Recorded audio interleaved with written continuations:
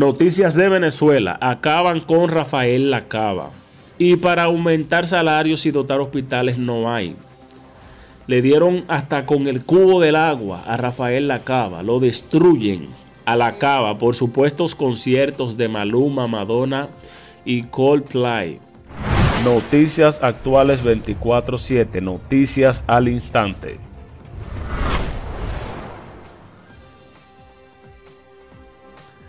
Recientemente, ante la información compartida por el programa Chisme No Like sobre la presunta intención de Rafael Lacaba, gobernador del estado Carabobo, de promover conciertos de artistas internacionales, como es el caso de Maluma, pese a la crisis económica que padecen muchos venezolanos, lo que salió a la luz es que supuestamente Lacaba habría pagado un millón de dólares a Maluma o casi un millón de dólares. Según los periodistas de este programa de farándula, la Cava habría pagado casi un millón de dólares a Maluma para que se presente en los carnavales de Puerto Cabello, uno de los más comerciales de Venezuela. Ante estas afirmaciones, las cuales se viralizaron rápidamente, el mismo Lacaba se manifestó de forma burlona no me arrepentí de traer a Maluma y ahora vendrá Coldplay y Madonna. Juntos, escribió.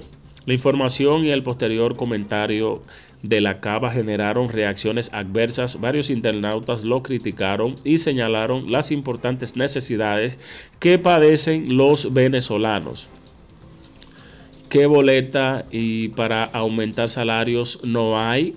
Para dotar hospitales no hay, para mejorar servicios públicos no hay, para arreglar vías no hay, pero sí aumentan ellos los peajes. ¿Qué pendejos son realmente los venezolanos?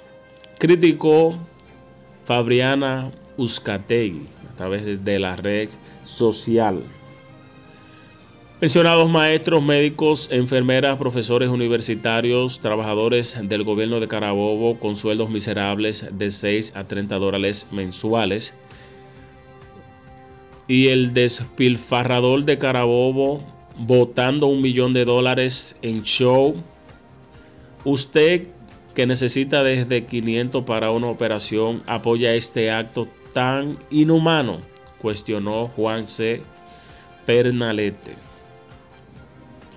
Parieron plata para eso y para sueldos y salarios no pueden parir. Bueno, siendo cierto el caso, aunque sea quien sea, de gratis no se van a presentar en vez de invertir esa vaina en hospitales y escuelas y cuando estemos bien se rumbea, apuntó Guillermo Manamas. Y muchos comentarios que son muy negativos al respecto de cuánto eh, le habría pagado la cava a Maluma. Oye, le pudo haber pagado 100 mil dólares, pero es bastante dinero. Eh, en comparación con lo que ganan los venezolanos y viendo las exigencias de los maestros que han estado protestando para que se les haga un aumento. Es un abuso. Comparte, suscríbete, dale like, activa la campanita para que te lleguen las notificaciones. Nos vemos en un próximo video.